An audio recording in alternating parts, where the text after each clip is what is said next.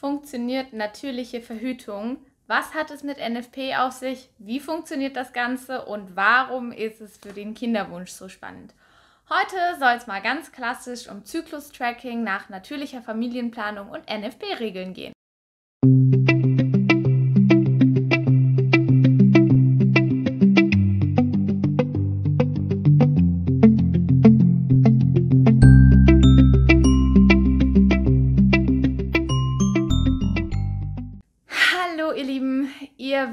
Schon, es ist ziemlich viel los bei mir. Ich stecke gerade, wenn ihr mir, oder zumindest wenn ihr mir auf Instagram oder TikTok folgt, unten in der Beschreibung sind natürlich auch immer die Links, ne? aber ich heiße dort Überraschung Babybauchblog.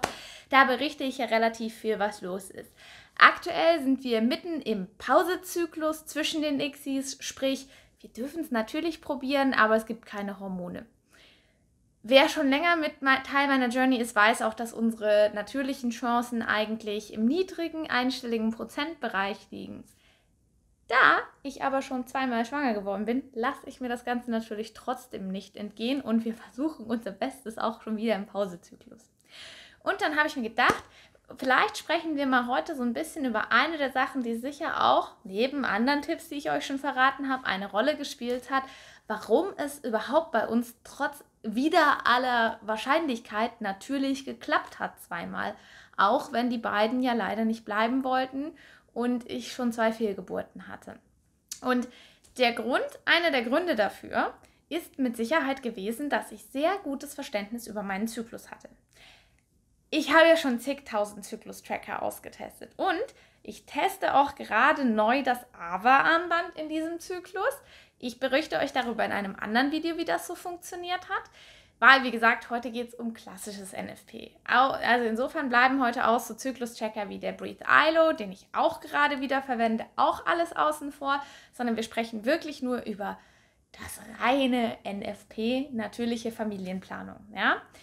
Weil das schon eine Rolle spielt und zwar auch statistisch nachgewiesenermaßen. Es gibt Studien, die ganz klar belegen, dass Frauen, die NFP anwenden, schneller schwanger werden. Das ist jetzt nicht verglichen mit Frauen, die andere Zyklus-Tracker verwenden, wie zum Beispiel Ovulationstests, die kein NFP sind, dem Breathe ILO, AVA, oh Gott, was gibt es denn noch alles? Wahnsinnig viel, sondern es ist, sie haben das einfach nur verglichen mit Frauen, die alle zwei, drei Tage mit ihrem Partner Sex hatten, uns drauf haben ankommen lassen und gesagt haben, mal gucken, ne, ähm, mal schauen, ob was dabei rauskommt.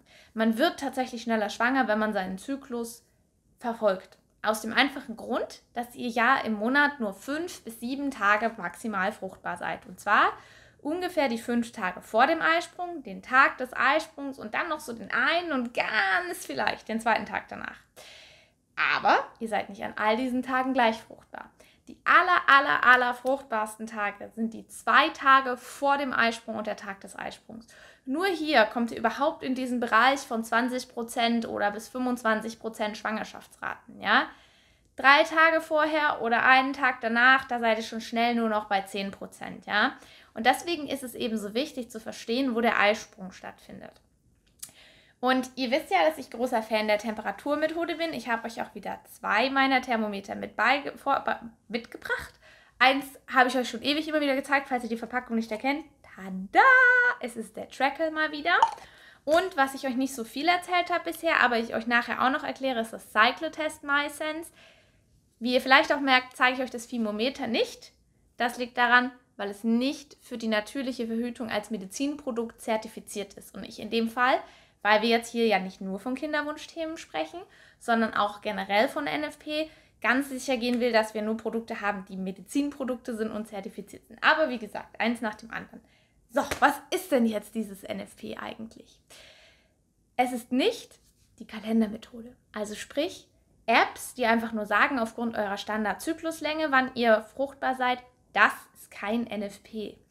NFP basiert auf ein, zwei Grundsäulen. Ja? Das eine ist die Temperaturmessung und das zweite ist die Bestimmung des Zervixschleims oder des Muttermundstandes. Ich erkläre sie euch alle mal kurz. Alle verdienen ein eigenes Video. Zur Temperaturmethode habe ich auch schon ein Video. Verlinke ich euch hier oben. Ist ein bisschen älter, werdet ihr beim Anschauen merken, aber ich habe gerade keine Zeit, es komplett neu aufzunehmen. Die Grundbasis von der Temperaturmethode erkläre ich euch aber nochmal. Ihr müsst jeden Tag die Basaltemperatur messen, um die gleiche Uhrzeit am gleichen Ort. Und äh, es gibt mehrere Störfaktoren, die ihr berücksichtigen dürft. Also im Prinzip direkt nach dem Aufstehen. Warum macht ihr das? Weil die Basaltemperatur der Frau hormonabhängig ist. In der ersten Zyklushälfte ist eure Basaltemperatur circa 0,5 Grad niedriger oder sagen wir mal 0,2 bis 0,5 Grad niedriger als in der zweiten Zyklushälfte. Das kommt daher, dass nachdem ihr euren Eisprung hattet, produziert der übrig bleibende Gelbkörper Progesteron. Und Progesteron erhöht die Temperatur. Die ist deswegen auch in der Schwangerschaft erhöht. Deswegen könnt ihr das auch tatsächlich die Basaltemperaturmethode verwenden, um eine Schwangerschaft zu bemerken. Wenn ihr, aber meistens seid ihr dann auch schon überfällig deswegen. Und ihr habt sowieso längst einen Test gemacht. Kaum einer wartet wirklich bis 18 Tage Hochlage. Dann aber ist die Schwangerschaftsrate sehr, sehr hoch. Also wenn ihr 18 Tage lang Temperaturhochlage habt, seid ihr wahrscheinlich schwanger. Aber um erstmal darauf zurückzukommen. Also es ist diese Methode, die darauf basiert, aufgrund der Temperatur zu sagen, wo steht ihr in eurem Zyklus. Das ist super praktisch, wenn ihr damit verhüten wollt. Und tatsächlich, NFP ist für Verhütung wirklich geeignet. Ich war da selber wahnsinnig skeptisch, bevor ich ähm, mich damit beschäftigt habe, habe gesagt, hormonfreie Verhütung, das kann ja nicht funktionieren. Die werden ja alle schwanger, ne? Meine Geschwister und ich, wir sind alle drei weil meine, auf die Welt gekommen, weil meine Eltern natürlich verhütet haben. Wenn ich aber mit ihnen gesprochen habe, habe ich festgestellt, sie haben auch jede einzelne Regel ignoriert, ne? Und meine Mutter hat auch selber gesagt, Mama, falls du es hörst, sorry, dass ich es ausplaudere, ähm, es immer, wenn es spannend wurde, wenn es verboten war, war es besonders spannend. Insofern kein Wunder und ich bin sehr dankbar, dass ich zwei Geschwister habe und meine Eltern sich da nicht dran gehalten haben. Aber das ist natürlich nicht die Grundlage von natürlicher Verhütung. Wenn ihr euch an diese Regel haltet, die erkläre ich euch gleich nochmal und auch wie ihr es euch leichter macht, dann ist das tatsächlich ähnlich sicher wie die Pille.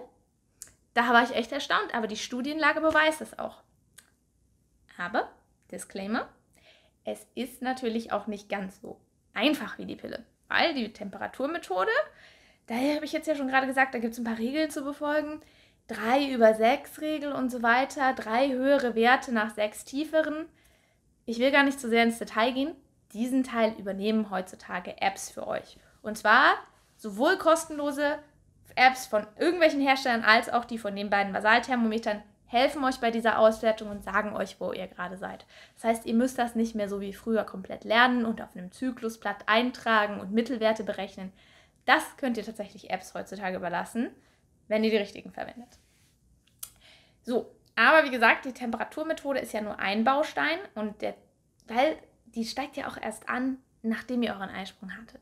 Das ist für Verhütung okay, wenn ihr dann wisst, alles klar, jetzt höhere Messung, Abend der zweiten höheren Messung oder sogar schon dritter Tag, jetzt kann ich wieder ran an den Mann äh, ohne Gefahr, dann, dann ist das schön. Für Schwanger werden ist leider blöd, weil dann seid ihr zu spät dran. Äh, wie gesagt, Chancen sind vor dem Eisprung höher. Und da kommt der zweite Teil mit dazu, weil die natürliche Verhütung oder natürliche Familienplanung beinhaltet eben auch noch die Bestimmung des Zervixschleims. Und ja, damit reden wir jetzt über etwas, was vielleicht dem einen oder anderen ein bisschen unangenehm ist, aber ihr müsst euren Zervixschleim oder euren Muttermund tasten. Und beim Zervixschleim gibt es unterschiedliche Qualitäten. Man unterscheidet zwischen gar nichts, trocken, feucht, S und S plus Qualitäten. Es gibt super viele Beschreibungen, welche Qualität was ist zur Abnahme, ihr könnt entweder einfach am Scheideneingang abnehmen oder am Muttermund, je nachdem, ob ihr viel oder wenig Zervixschleim habt. Manche reicht, wenn sie aufs Toilettenpapier beim Abwischen gucken, wie das so aussieht. Ich nicht, also ich fummel da immer nach. ähm, aber ich will ja auch sowieso noch meinen Muttermundstand bestimmen und ganz ehrlich, also so sehr sollte man sich vor seinem eigenen Körper wirklich auch nicht ekeln. Ähm, Genau, und dann guckt ihr euch das an, was ihr am Finger habt. Ich erspare euch jetzt hier mit irgendwelchen Lebensmitteln rumzuhantieren, um euch Vergleiche zu zeigen. Ich beschreibe es euch einfach. Vereinfacht, wenn ihr ESK Plus Qualität, so die allerhöchste ist dieser spinnbare Zervixschleim, der immer wieder beschrieben wird, der ist wie eiklar. Ja, der zieht so Fäden zwischen den Fingern, ist durchsichtig, ja, und halt Fäden, also spinnbar. Den habe ich übrigens nie. Wie wir, da ich schon schwanger geworden bin, also sehen, braucht man auch nicht unbedingt S-Plus-Schleim, ähm, um schwanger werden zu können. Auch S ist schon fruchtbarer Schleim. Und der ist von der Beschreibung her ungefähr so wie so eine Handlotion, ja. Nicht so eine feste Creme, sondern so eine weiche Lotion, wie sie gut einzieht, ja. Weiß, cremig, aber nicht mehr pappig. Und wenn wir jetzt in diese Kategorie F kommen, die dann schon nicht mehr so wirklich dolle sind, da ist es, finde ich, eine super Beschreibung. Das ist wie ein Prittstift. Also das ist weiß und pappig und man kann vielleicht ein bisschen Struktur sehen, aber es ist definitiv keine Handcreme mehr. Mit einem Prittstift würdet ihr euch ja nicht die Hände eincremen. Gibt auch super Blogartikel noch, die euch das noch mit viel mehr Bildern zeigen, aber das ist so die grobe Beschreibung. Ja, und nix, glaube ich, brauche ich nicht beschreiben. Wenn da nichts ist, dann ist da nichts. So, das tragt ihr am besten auch, und deswegen, ich vereinfache es euch hier, auch wieder in diese Zyklus-Apps mit ein, weil nämlich die Apps, die tatsächlich nach NFP-Regeln arbeiten, das auch berücksichtigen bei der Be Bewertung eurer fruchtbaren Tage. Grundsätzlich kann man aber sagen, sobald ihr Essschleim habt, kommt ihr in die fruchtbare Phase. Bei mir geht die allerdings sehr viel früher los. Ich habe sehr viel länger Ess und wie gesagt nie S+. Deswegen für mich auch nach Monaten funktioniert die Ermittlung mit Cervix-Schleim im Vornherein nicht wirklich gut. Was ich aber dann gelernt habe, was bei mir besser funktioniert, und das werdet ihr erst rausfinden, wenn ihr es ausprobiert, ist die Bestimmung des Muttermundes. Und wenn ihr da einfach tastet, werdet ihr irgendwo so einen Knubbel oben spüren, in dem so eine kleine Kerbe oder so eine punktförmige Tiefe drin ist. Das ist der Muttermund. Da wollen die Spermien hin, wenn sie nach oben wollen in die Gebärmutter. Und den könnt ihr tatsächlich tasten und bewertet einmal, wie hoch steht der. Das lernt ihr mit der Zeit, was ist bei euch hoch, tief und mittelhoch. Also wenn meiner richtig hoch steht, komme ich nicht dran. Egal, wie sehr ich suche. Ähm, oh Mann, ganz schön persönliches Video, ne? Ähm, aber ihr bewertet einmal den Stand, dann bewertet ihr den Öffnungsgrad. Das ist auch eine Übungssache, dass ihr irgendwann spürt, dass diese kleine punktförmige Öffnung größer wird, um einen bestimmten Zeitpunkt vor dem Eisprung.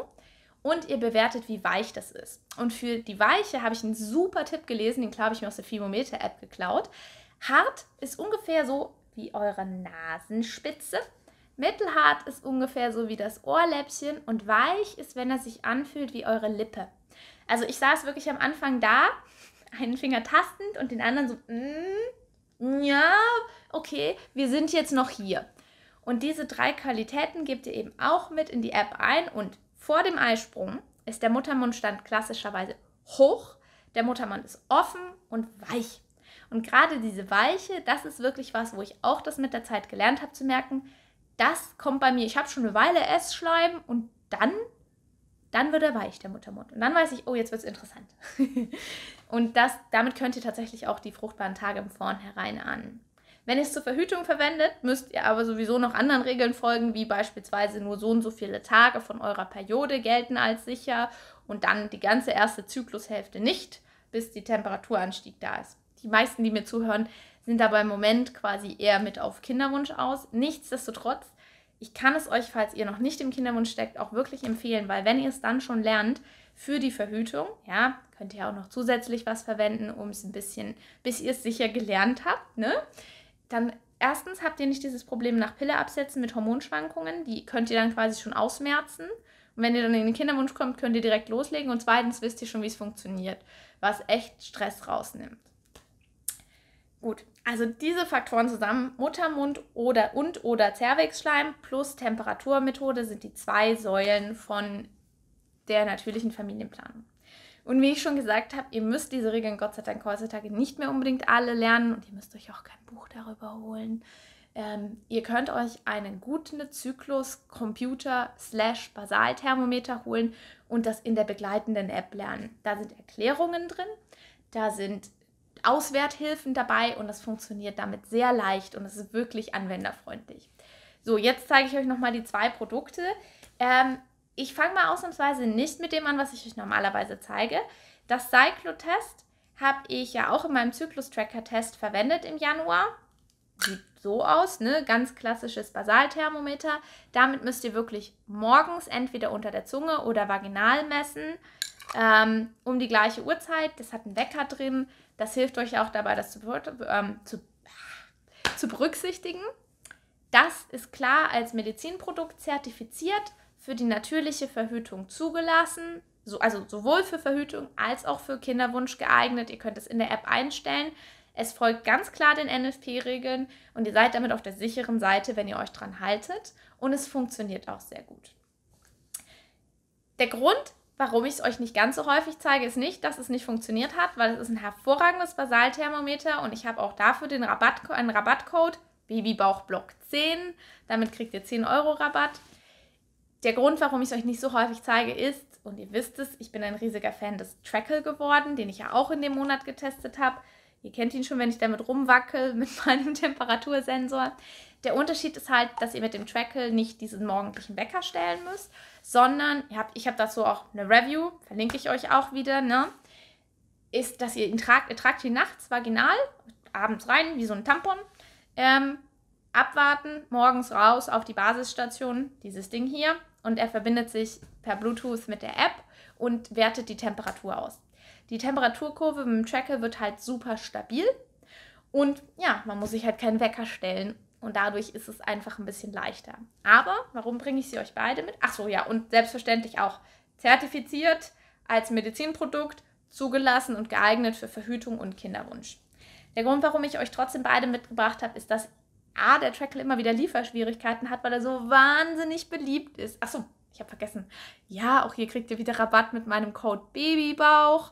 Ich verlinke es euch unten. Ihr kennt es. Beim Trackle sind es ähm, 10%. Und ja, der, der Unterschied ist, wie gesagt, der Trackle ist nicht immer gut lieferbar. Leider, leider, leider. Und er ist auch ein bisschen teurer. Ich persönlich finde, dass er es absolut wert ist, das Geld zu investieren. Aber wenn ihr sagt, es ist mir zu teuer, dann bitte, ich weiß, ich habe lange zum Thermometer geraten und ich habe es auch in meiner Review zur Basaltemperatur noch so gemacht. Also gerade wenn ihr es für die Verhütung verwendet, dann bitte überlegt euch, dass ihr wirklich ein zertifiziertes Produkt nehmt. Ne? Weil Thermometer hat es nicht zertifiziert, funktioniert. Hat es für mich auch. Aber wenn ich damit verhüten würde, würde ich lieber ein paar Euro mehr in die Hand nehmen, um ein zertifiziertes Medizinprodukt von einem deutschen Hersteller zu haben. Für den Kinderwunsch könnt ihr das Thermometer auch verwenden. Ich nutze es tatsächlich nicht mehr. Welches Produkt ihr am Ende verwendet für die Temperaturmessung, bleibt euch überlassen. Es gibt auch noch andere Hersteller, die gute produzieren. Ich zeige euch einfach die zwei, die ich ausgetestet habe und für die ich Rabattcodes habe. Ähm, wenn ihr andere verwendet, könnt ihr das sehr gerne auch unten in den Kommentaren schreiben. Wie gesagt, ich habe jetzt inzwischen schon so ein bisschen diesen Fokus auf zertifizierte Medizinprodukte sind halt schon auch, das kostet halt auch was, die zertifizieren zu lassen, aber dann hat man halt auch eine Qualitätsgarantie. So, aber ich glaube, ich habe es jetzt lang genug gesagt. Wenn euch das am Anfang nicht reicht im Kinderwunsch, wäre mein persönlicher Tipp, dass ihr es entweder mit dem Breathe ILO oder mit Ovulationstests oder mit beidem ergänzt, damit ihr in dieser fruchtbaren Zeit schon ein bisschen Hilfe habt zu lernen, okay, so fühlt sich mein Muttermund in der fruchtbaren Zeit an. Da das aber nicht mehr zu NFP gehört, werde ich das nicht in diesem Video jetzt ausführlich eingehen, weil von den anderen modernen Zyklus-Trackern habe ich ja schon oft genug geredet. Mir ging es einfach darum, dass ihr mal die Basics kennt und unabhängig davon, welchen coolen, innovativen Zyklus-Tracker ihr euch vielleicht noch holt, muss ich euch sagen, nutzt die Zeit, selbst wenn ihr jetzt sagt, ihr nehmt nur den Breathe ILO oder nur das AVA-Armband, macht das trotzdem ruhig auch mal mit dem Cervix-Schleim und dem Muttermundbestimmung, weil euch das hilft, ein Gefühl für euren Körper zu bekommen. Und dann lernt ihr es und es ist ein Skill, den könnt ihr dann in aller Ruhe aufbauen. Und man sollte sich wirklich nicht vor seinem eigenen Körper ekeln. Und wie gesagt, Temperaturmethode meines Erachtens nach das A und O im Kinderwunsch. Ihr kommt nicht drum herum, es hilft euch so viel. Erstens, um den Eisprung zu bestätigen, weil kein anderes Tool, auch nicht Ovulationstests, können euch bestätigen, dass der Eisprung erfolgt ist. Es gibt ein Tool, was ich getestet habe, das in einem Minilab, die das versuchen über Progesteronmessungen im Speichel. Ich glaube, das wird ein cooles Produkt. Ich glaube, es braucht noch eine Weile. Aber aktuell kommt ihr hundertprozentig nicht um die Temperaturmessung rum, wenn ihr sicher wissen wollt, dass ihr einen Eisprung hattet.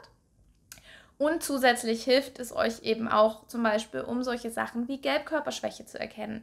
Wenn eure Basaltemperatur nicht ordentlich ansteigt, das sind alles Indikatoren, die ihr in der Basaltemperaturkurve finden könnt. Also auch diagnostisch ist die super spannend. Insofern, ich kann euch nur die Angst davor nehmen und ich hoffe, dass euch dieses Video ein bisschen dabei hilft. Und ich werde mal schauen, dass ich auch in nächster Zeit noch ein bisschen mehr dazu mache, bevor ich jetzt wieder so in meine ganzen Kivo-Themen reinkomme, weil die Kivo-Klinikzeit steht ja jetzt auch bald wieder an. Also bei mir ist übrigens jetzt bald Eisprung, ne? Falls ihr mir auf Instagram folgt, wisst ihr auch schon.